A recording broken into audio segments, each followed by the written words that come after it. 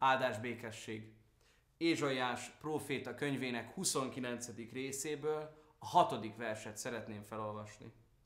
Mert a seregek ura meglátogat téged, mennydörgés, földrengés, nagy zúgás, viharos forgószél és emésztő tűz lángjai között. Benne van az igében az, hogy mit képzelünk, hogy hogy jön el Isten közénk, és ezzel szemben áll az új szövetségben Jézus érkezése. Azt hittük, Isten tűzzel, villámmal érkezik, de kisbabaként érkezett a világra. Azt reméltük, elpusztítja a gonoszt, de helyette megbocsátja bűneiket. Azt reméltük, végre megdicsér minket, helyette megtérésre hív. Azt reméltük, elsújtá villámidat dörgő fellegedben, közben pedig szelíd szemmel nézed életünket. Emésztő tűzzel érkezik, helyette, atyám, bocsáss meg nekik, mert nem tudják, mit cselekszenek. Lángoló haraggal sújtasz le minden ellenségünkre, de inkább azt mondtad, jöjjetek én hozzám minnyájan, akik megfáradtatok, és meg vagytok terhelve, és én megnyugosztlak titeket.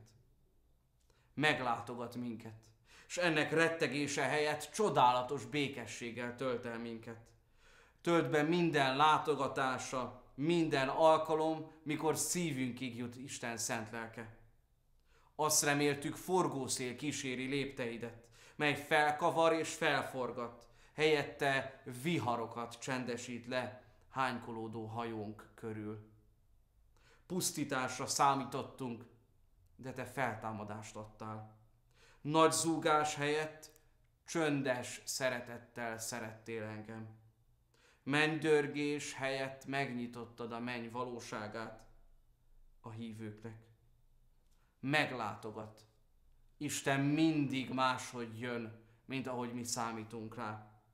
Jézus Krisztus teljesen más valóságot hozott, mint amire mi emberileg számítottunk. Megfoghatatlanul egyszerű. Erősségében lett gyenge, öröf, örökké valóságában hunyta le a szemét. A legnagyobbból lett a legkiszolgáltatottabb.